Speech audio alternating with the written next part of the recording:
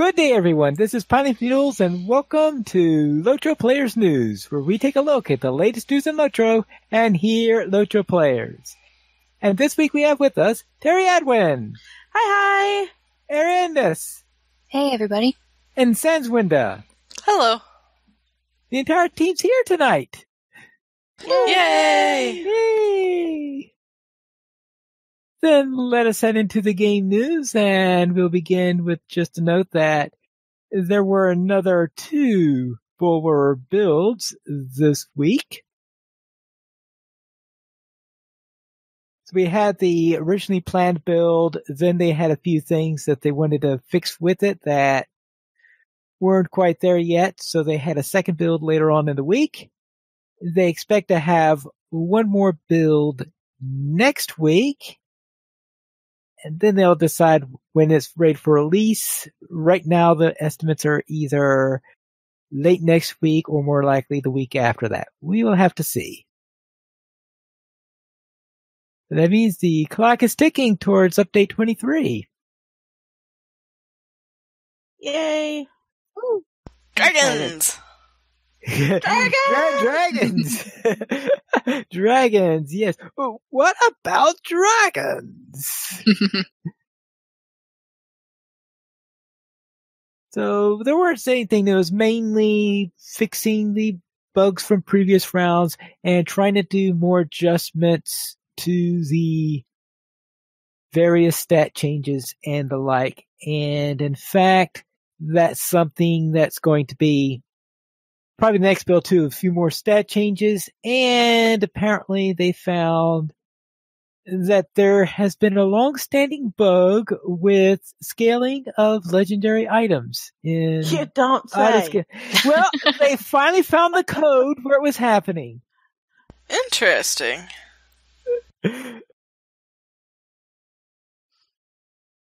So we'll have to see whether or not that helps in any way for any of the future build. I don't know if that's going to get into the next build or not. I'm hoping that's the reason for the extra build is that they're finally going to get that in and hopefully it'll help to calm things down a little bit. We'll have to see there. But they're also planning to do a couple of tweaks to the mob values because they, I think there's still some that they think might be a little bit off from where they really want them to be. And hopefully that would be a good enough build that they'll say, we're ready. We'll find out. So let's head into the Lotro Beacon.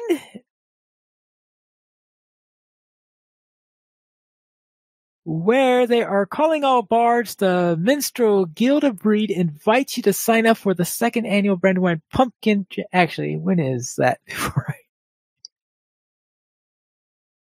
It'd be nice if they could put the Oh, October 13th. Yes. October 13th, Saturday, October 13th. So that would be two weeks from this recording. But the cutoff date for band signed ups is Friday, September 21st.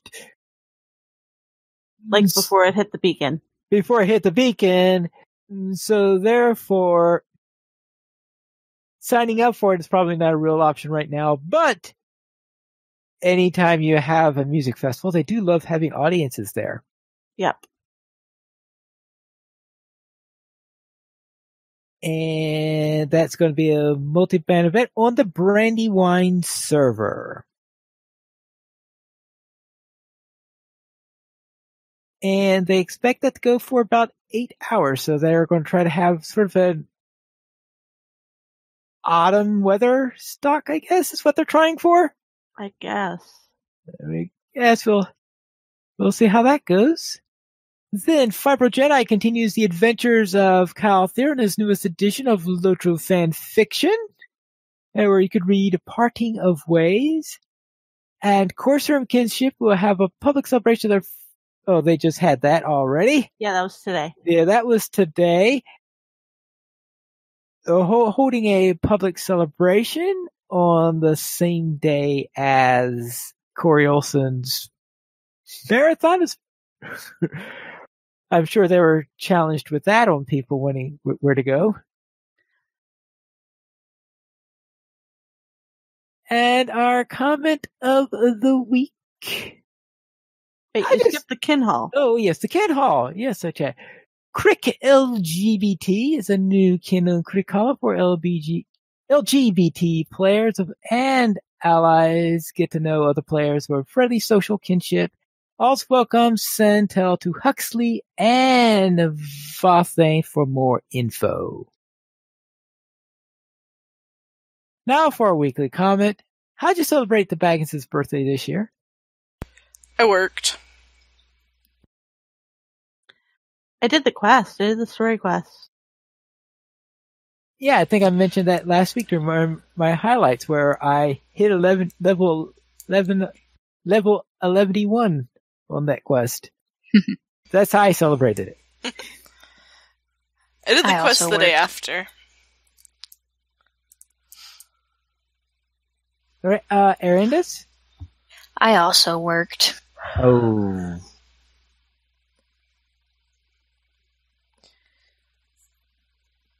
Then let's head to the fan site news then.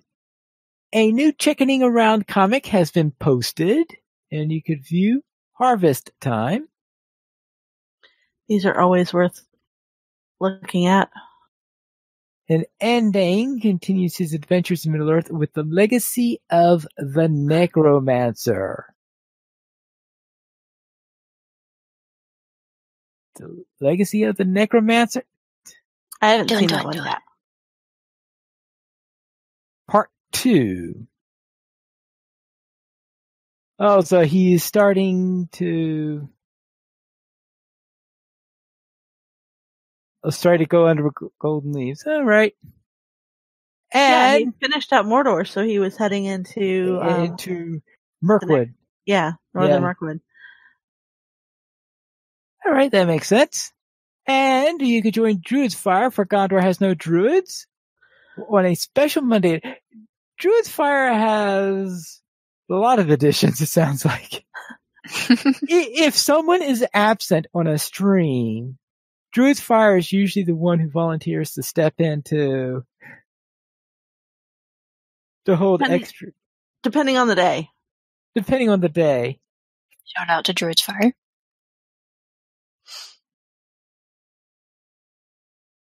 Yeah, and which means she's gonna have a long session next Friday because Corey will Corey will be out next week, bec- and at the same time we have Cordovan who's also going to be out next Friday.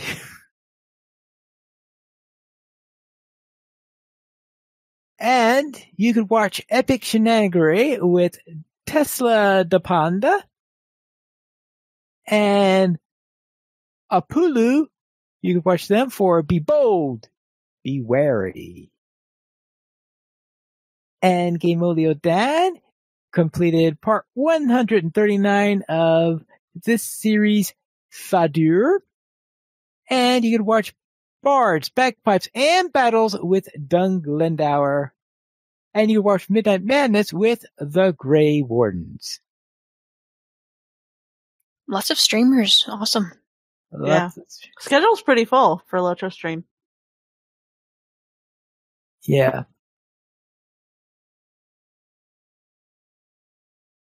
And our screenshot of the week is mm, getting us prepped for Halloween, it looks like. It's pretty great. Yeah. Tree, tree, it's awesome. Yeah, Aye. Good grief. Who- Who's going to scare you more, the tree or the hobbit? I say up in the tree. Let's go and see what's on sale this week. Uh, still not character slots. Oh, well. They, they Um, need to get those on sale soon, especially Yes, it- when update yes. 23 hits. Pretty please, guys. I'm Hey. saving up, saving up my Lotro points. No, Um, next week will be the perfect week for it too, Why? because next week's sale, because that'll be just as tw- update 23 hits and the, Oh, yeah, yeah. and the Um, renumbering. Yes. Right, right. So the weekly coupon gets you max morale and power scroll times five with coupon max MPS scroll. now through October 4th, and also through October 4th, you get 25% off virtues and virtue bundles, trait slots, and skill and slayer deed boosts. Eh. Move Eh. along. Move along. Nothing to see there. Nothing I would spend Lotro points on, but if you aren't VIP, then the sale on trait slots is good. And Lotro Players News is brought to us by Harncaker Games. And Which started Monday and have been streaming on the Lotro stream, and they're awesome. yes, and wow, by the time this is posted on the podcast version, it will be over. You could still continue to watch the archives either on Twitch or on YouTube. Do we know what the score is right now? Well, I don't know. Well, I think it was Wednesday or Thursday I checked in and um the hobbits were ahead. Hold on, I'm checking. Let me see if I can find it.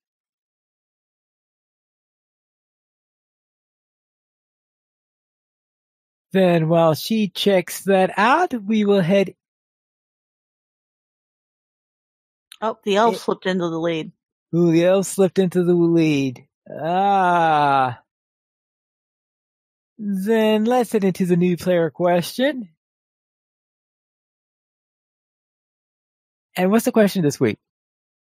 We had somebody write into the website, I believe, with a question. Um, it was Tracy Height, and they asked, "Is there a way to tell from your quest log whether or not a particular quest is locked inside an instance?" And then they gave us context. I spent all weekend scouring the Lonelands hunting for red maid side quests. Finally, gave up and Googled it and found they're locked in a in the Garth Agarwen Arboretum instance. How was I supposed to know that? So the short answer is no, the quest log doesn't tell you. Um I think if I remember correctly that the NPC flavor text will tell you when they first give you the quest, but then when you do the history on it, it doesn't show you like the full thing. Right. I think. Um It's been a while since. it- there aren't a lot of these floating around actually. Um, most of them have to do with the older in series. You're You're, cutting out, dropping out. Oh, great. There aren't very many of these around. There are. Hang on. Discord's doing the thing. Oh no. All right. It looks like it decided to play nicely again. Um, they're mostly connected to the older instances. So I know the Great Barrow has side quests that you can get from quest givers before going into it. Um, Fornost is another one, and then Garth Garwin, and I think everything else. Um, maybe the rest. Carn Dûm Yep, Carn Dûm. and the So, other like- one near there, um, or something, or Urugarth. Urugarth. Yeah, so basically a lot of the old classic pre-50 Lotro uh, instances will have some side quests, although I can't remember if Helegrod has them or not. And they don't even really tell you, it's just the quest log will point to that area, and you're supposed to kind of figure out, figure out from where the quest arrow is pointing that it's actually in the instance. Fornos was the one that gave me trouble with that. Yeah. Especially like, since, no, go here to kill the stuff in Fornost. And it's like, but, but, but I can't get there. How do I get there?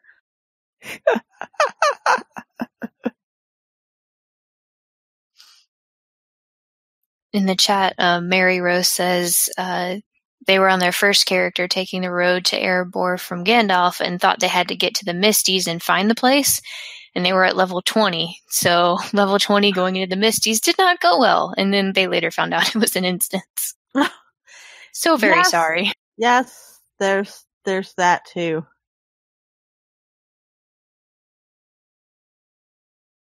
yeah. So therefore, let's just say there's, occasionally reading the t- quest text can help a lot. Though occasionally they're not exactly clear on that. I think even when you read the quest text, you're wondering because I think they're almost as is the quest text might have been written ten years ago, and Yeah. maybe ten years ago it would have been understood. Well, and sometimes they change things and then they don't change the quest text, like the uh, Baggins' Oh, birthday yeah. quest. Uh, yeah, they do have those things where things change. You're right. There are plenty of cases of that where you're saying, why are they saying that? I'm still baffled why every single hobbit who has a pie to go back to Holly Hornblower tells you where her house is. Because obviously, if you're coming from her with instructions to get those pies back, you know where her house is. Why do they have to tell me where to where to go? Never understood that. Yes. Every hobbit, every hobbit. Every single one. Yes. it- which is really bad when you consider the one who is at the at the oven in Hobbiton. Yes, yeah. Opal Goodbody. Yeah. Yeah. Like I literally just came from her house with this pie and you want me to take it back and you think I need a reminder of where her house is?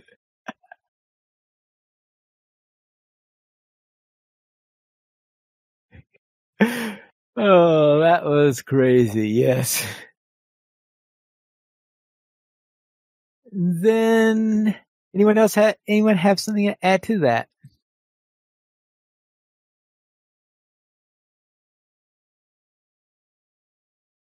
Then let's into our weekend lunch run. Terry Edwin, what were you up to? Well, um, speaking of Baggins' birthday, I led the girls of Middle Earth through the story gathering for Baggins' birthday.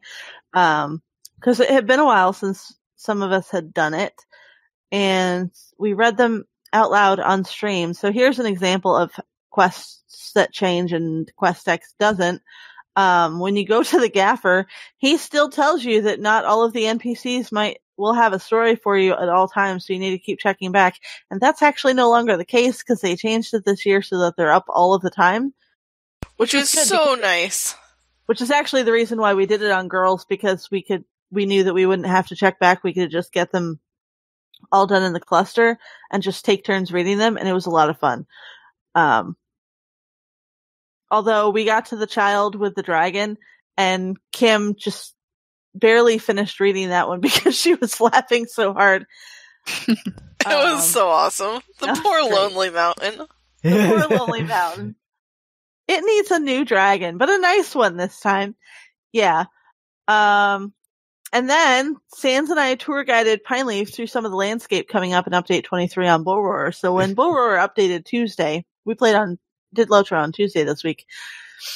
So, um, it turns out Pine Leaf hadn't really done a whole lot of exploring.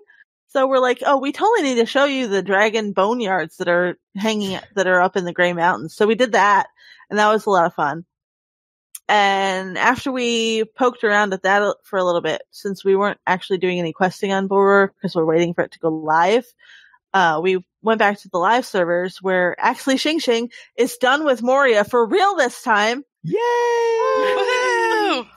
We did the, uh, three man instances for the mirror halls and the water wheels and that was pretty entertaining. We were over leveled because we are like 62 and the instances are 58.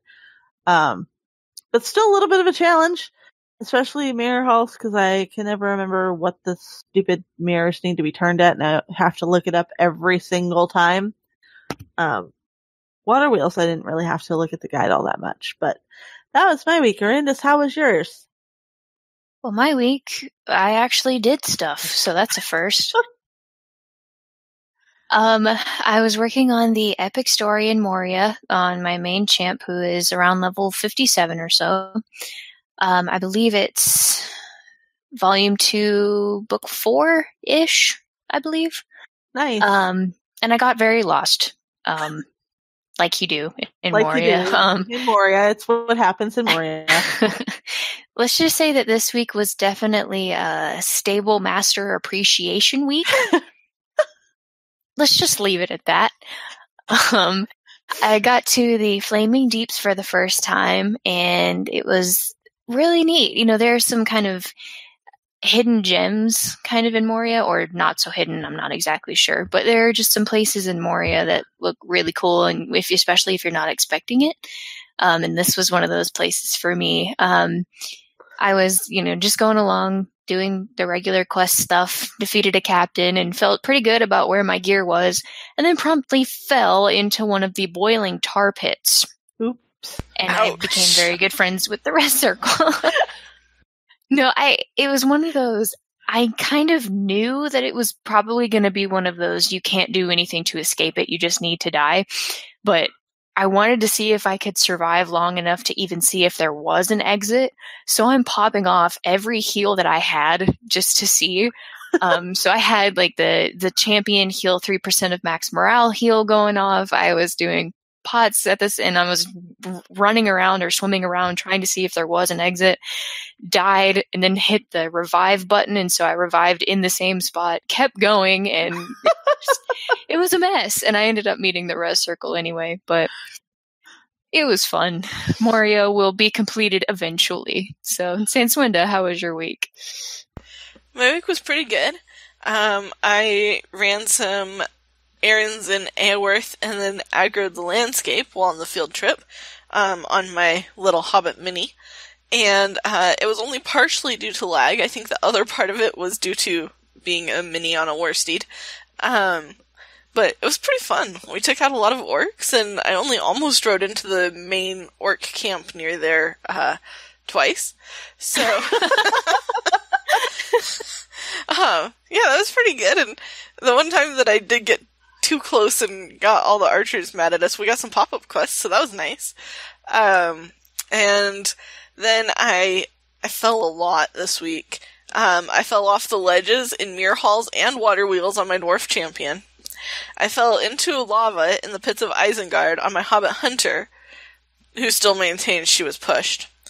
And I managed to fall off a bridge with guardrails on it in Lake Town on my high elf runekeeper, who was not happy to be having a swim at that point in time. Yes, and I wasn't even on a horse.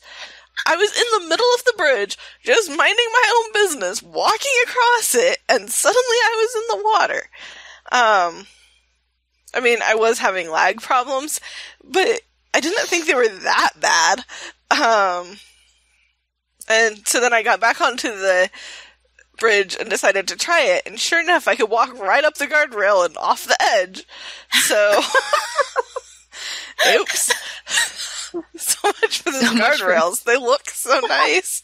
I felt so safe seeing them, but yeah, still totally possible to Rivendell those bridges. Um, and that runekeeper also managed to die twice uh, today, pursuing a memory cloth, despite having friends to help her. She had two friends to help her the first time she died. She just happened to see the enemies while she was following the quest arrow on a war steed and didn't stop before getting to the point, and so she was the first one into the ambush, and it did not go well. So then, after being smoked back to life by cinders on her lovely uh, lore master, I entered the instance chasing the memory cloth with pine sap. Um, and I was really feeling pretty confident here. Like, there's two of us. I know what's coming. We've totally Uh-oh. got this. I even changed to yellow line so I could kite if I needed to. Famous last words. Here we go. first combat and I was down. Um, I I put down my healing stone and they all charged me and I tried to kite and Pilaf yelled, "Stop running!" and I was dead. So yeah, that was pretty much how that went. And after that, um, I stayed quite a ways behind Pine Sap and let the burglar tank, and uh, didn't start healing until all the enemies had good dents in their um, their morale because it was pretty bad. But we got through. Um, Pine Pine Sap used his um, riddle to good to good advantage for us. Um, but yeah, it was it was an adventurous time, Squishy Runekeeper is definitely still squishy. Pineleaf, how was your week? Hey, we'll begin with my lore master, who was, of course, finally gaining revenge against the traitorous Falcon clan for what they did to the Great Company. And decided to outdo what my burglar did last week. You remember my burglar last week who finally finished Enmity of the Spiders 1 in Moria? I finished Enmity of the Hillmen 2 while fighting the Falcon Clan. Congratulations on finishing it. Nice. I was like, okay, how in the world, especially going all the way through Enedwaith and then into Dunland, that it took me until I was fighting the Falcon Clan before I finished that deed. well, weirdly, a lot of those enemies don't count as hillmen, despite the fact that they are hillmen. I always have. I trouble with thought that I was thing. noticing that, actually. Because I thought that all Dunlandings were supposed to count. No, not all Dunlandings count as hillmen. I mean, because uh, my usual way of unlocking that deed is killing Gwillian at the end of Stormhole Methodist. Hillmen do. It's weird yeah, it's weird. because you have the same problem in Angmar too. I've no, I've discovered. Oh, not all the Hillmen. Yeah, not all of your en- not all of your evil enemies in uh Well, the Angren won't count because they're not Hillmen. right. But some of the ones that you think are hillmen aren't actually hillmen. Hmm, I, I should have a look at that at some time, see if I could find any consistency in what decides it or if it's a toss of the die. Then on my Gladden Junior Warden, I decided to participate on the Friday night instances for Rangers of the West, and we're doing some Moria instances there. I was level 65 and I think that was, I think we had something like three of them who were relatively low level down in the 60s or below that, and we had three who were up in the 100s. So it was quite a range on there. The original plan was to do Helegrod, but as soon as we found out that the server was still having issues last night, because yesterday was the day when the servers, the login, log out server and the chat servers were acting up.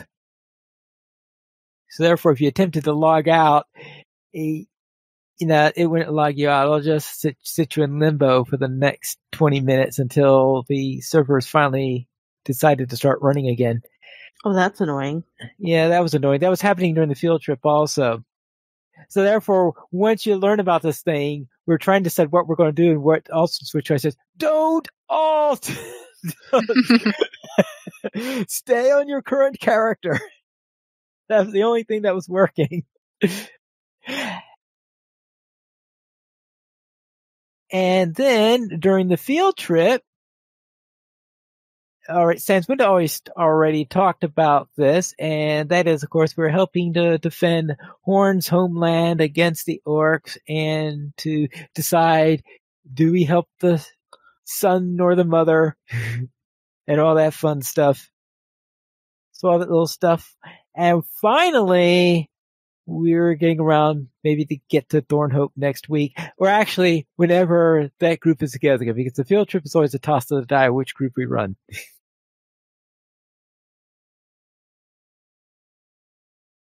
Ooh, we currently have 21 supporters on Patreon. If you'd like to help support this illustrious rate of players and help support Lotro players, simply go to the donations page where you can support the Players Alliance on Patreon.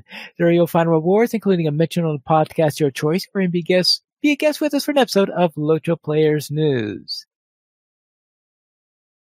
And this week we have a featured comment. And Sans, what does Bragg say?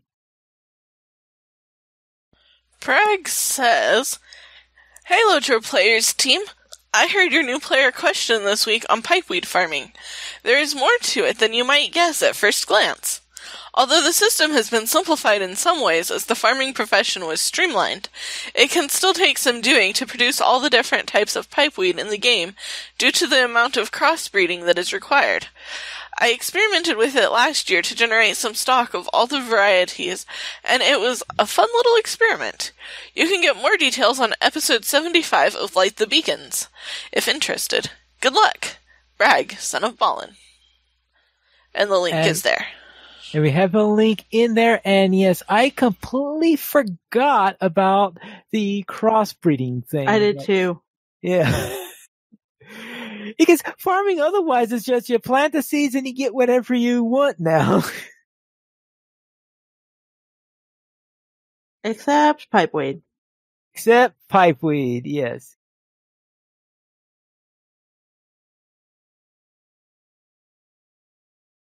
And you can contact us by emailing us at podcast at lotroplayers.com. And you can also follow us on Twitter at the Players Alliance at Players Ally, Lotro Players at Lotro Players, Arendis at Arendis, Pineleaf at Pineleaf Needles, Sandwinda at Sandwinda, and Terry Adwin at Terry Adwin.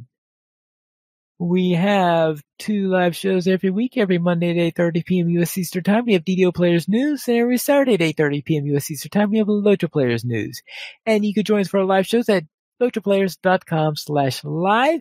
And that's all for tonight. And until next time, this is Pilot Mules reminding you to skirmish responsibly.